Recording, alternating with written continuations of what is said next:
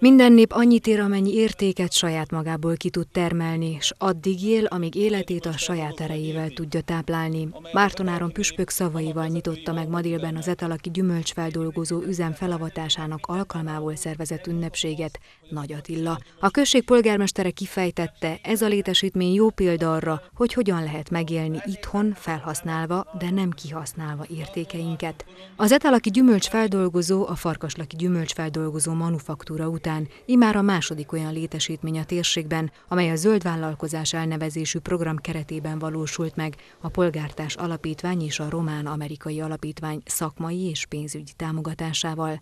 A vidéki közösségek boldogulását elősegítő projekt az erdei gyümölcsök és gombák feldolgozását teszi lehetővé. Az etalaki üzem két hűtőkamrával rendelkezik, amelybe 20 tonnányi árut tudnak raktározni.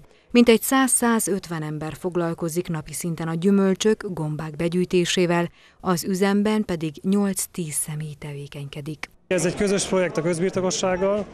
A közbirtokosság megszervezi a begyűjtést, tehát van 12 begyűjtőpontja.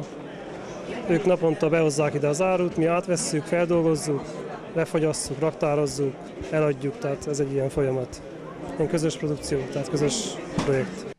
Bár az etalaki üzemben főként a gyümölcsök gombák fagyasztása történik, gyümölcsprés is rendelkezésre áll azon helyi gazdák számára, akik a gazdaságukban termett gyümölcsnek a levét szeretnék felhasználni.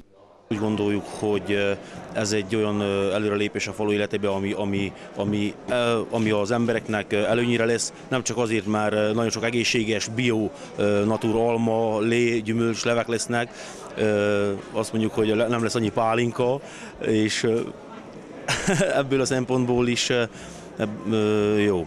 A környéken, amennyi gyümölcsös van, az elég számottevő, idáig szinte száz százalékban vagy az állatok ették meg, vagy pálinka lett belőle, de az, hogy pasztorizált bio gyümölcslé legyen, ez nem volt, nem, nem ért, nem ért, tehát ez lehetőséget nem értük el, úgyhogy egy nagyon-nagyon nagy előrelépés az a falu életében.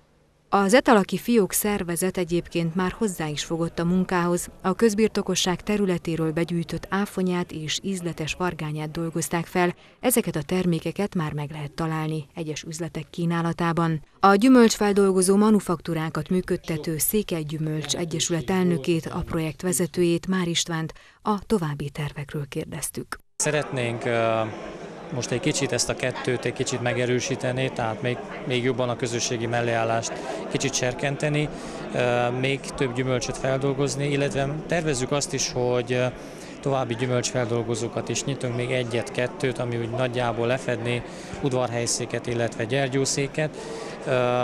Azért, mert ahol erdő van, egy tömbben nagy erdő van, ott nagyon nagy mennyiségű gyümölcsök is vannak.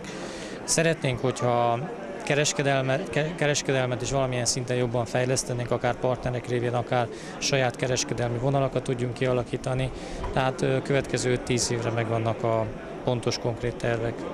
A 370 négyzetméteres alapterületű épületet a helyi gazdaköröktől vásárolta a közbirtokosság, a gépeket pedig az Egyesület biztosítja, a beruházás értéke több mint 300 ezer euró.